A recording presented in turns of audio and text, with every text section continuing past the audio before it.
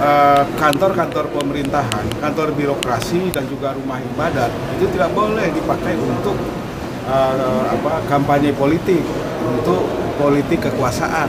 Ke- Politik kekuasaan itu adalah me- mendis- mendiskreditkan, menyerang lawan politik tertentu dan kemudian membela kelompok politiknya ter- tersendiri. Nah itu namanya udah politik kekuasaan. Nah itu yang tidak boleh dilakukan di gedung-gedung pemerintah, kemudian di rumah-rumah ibadah nggak boleh. Ya itu harus dilakukan pada tempat yang sudah ditentukan oleh KPU.